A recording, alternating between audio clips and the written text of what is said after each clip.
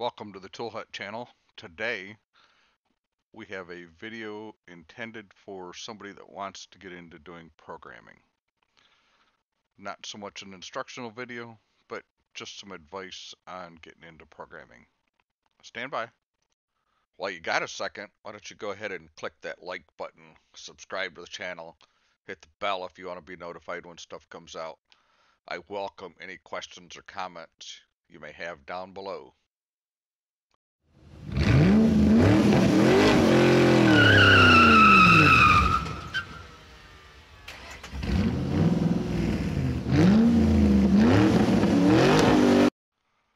Okay, first things first. Any of the equipment that you see used in my videos is available on the website. If it's not there, send me an inquiry off the website, toolhutusa.com. That's T O O L H U T USA.com. My name is Sam. Okay, so let's just go over a couple of things here. First of all, my name is Sam Brooks. I have been helping shops get into programming since 2005. I don't consider myself an expert. I'm also not just a company or an engineer here to tell people how to do things based on what we've learned on the bench. I have seen lots of shops make mistakes. I've probably actually helped them make some of these mistakes. And obviously, you learn from your mistakes. So, I'm going to try to give you the recommendations that I have based on the mistakes that I've seen shops make and try to help you not make them. Okay, I'm probably going to beat this one to death, but make sure if you're unfamiliar with programming that you buy your J2534 device from a company that can support it. Buy the whole package. Get the J2534 device, the laptop, and the stable power supply from the same company. That way, when you call with a problem, they know what you're using. The best piece of advice I can give you when you're starting out is decide what brand you want to start with. Notice I did not say brands. And if you're saying that you're going to do everything that J2534 can do, the suggestion I have for you is to stop. Pick one brand and let's move forward together. Okay, so what brand should you pick? My suggestion is you pick a brand that you see a lot of. Now, obviously, that's probably what you're looking to do. But I've seen so many shops that pick a brand that they only see once or twice a month. So what I want you to do is I want you to pick a brand that you see a lot of in your shop. And I want you to make a commitment. Now, you haven't bought any equipment yet, maybe. So I want you to make a commitment to using the tool for the first 30 days on this particular brand. So I want you to follow some steps that I'm going to lay out further for you here. And then I also want you to pick a brand that's easy to sign up. We'll go over more of this later as well. And make sure you have a backup plan. Make sure you have a shop locally that programs this brand. Make sure you can you have a relationship with the dealer because it's not if something goes wrong, it's going to be when something goes wrong. So have a plan for when something goes wrong. Okay, so let's go through the examples, brands that I would recommend that you start with. I know I told you to pick one brand, but what I want you to do is off my list of vehicles, I want you to pick from these brands if possible. It may not be possible. GM or Ford. I actually prefer Ford in the beginning. And then if you're do a lot of Asian stuff. Uh, pick Toyota. You probably see a lot of Toyotas if you're an Asian shop, so that's a good place to start. Nissan's not terrible. Hondas are not terrible except for getting their software to load. So there's some reasons that I have picked these brands. So I strongly suggest GM, Ford, or Toyota in the beginning. Okay, so you've decided what brand you're going to program. Now, the best thing to do at this point is to buy your J2534 device from a company that can support it. So when you have a problem, you can call them. So I know I've already covered this, but I told you I was going to beat it to death. So buy it from somebody that you can call that can answer some questions. Okay, I've kind of given you some advice of who to buy it from. So now I'm going to tell you where not to buy it from. I strongly suggest you avoid buying it from the tool truck. Now, there are some tool truck guys out there that are very familiar with programming. Many of them can set up the tool, but when you have a problem, they have no idea what to do. So I strongly suggest avoiding the tool trucks. There are some good tool truck drivers, don't get me wrong. They're just few and far between. The other one is to avoid getting a J2534 that comes with a scanner. I know. You guys are going to kill me for this one.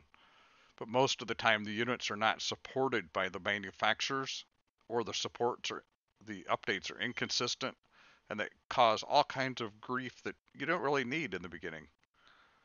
So I use a one that come with a scanner as a backup and I've also got another one that came off from a tool truck that I took in trade from a customer that I also use as another backup. So I'm very familiar with programming though.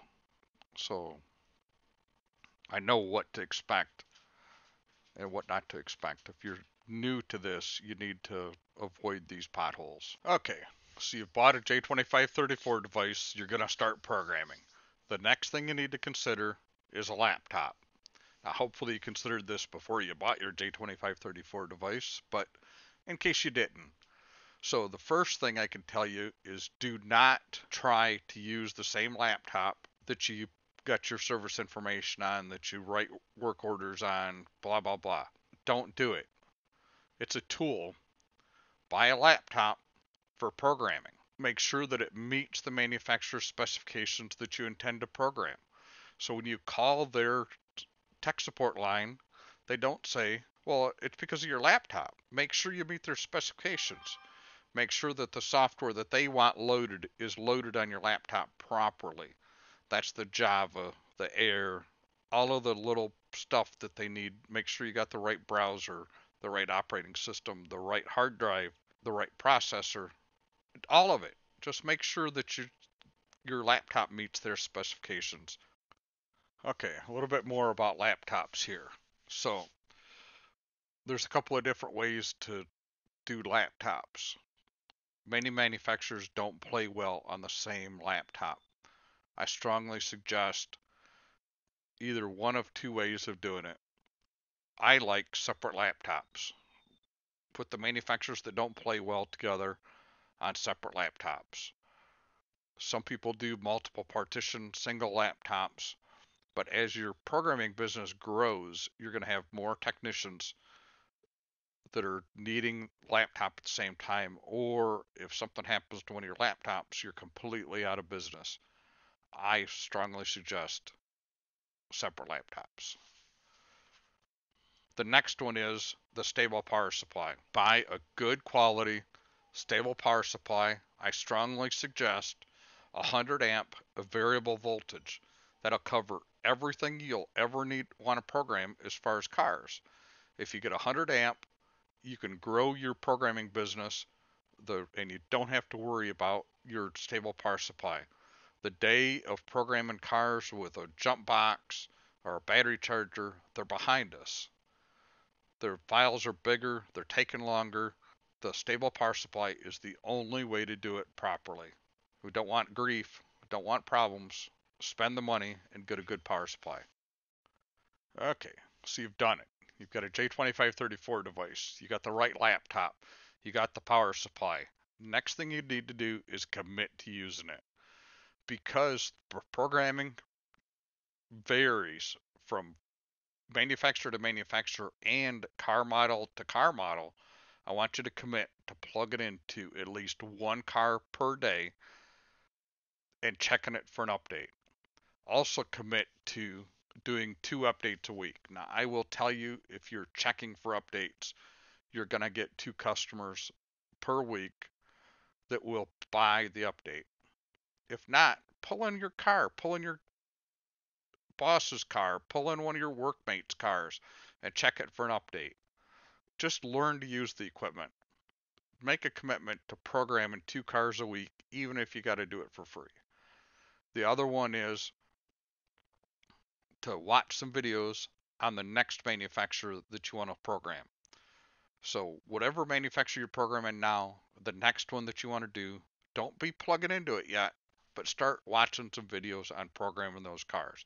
There's lots of videos out there on programming different manufacturers, etc., etc. Start learning what's different about it from what you're already programming. Okay, I know that wasn't one of my typical videos, but thanks for watching. Let me know if this is the if you would want to see some more videos of this layout architecture training type videos instead of actually programming a car. I'm thinking it would be beneficial to a lot of people to understand how to do some things. I would like to do a series of these setting up for each manufacturer and programming each manufacturer, etc., etc. But anyway, thumbs up, thumbs down, subscribe to the channel if you want to see some more videos. Questions, comments, criticisms down below. Keep them clean or I delete them. Have a great day.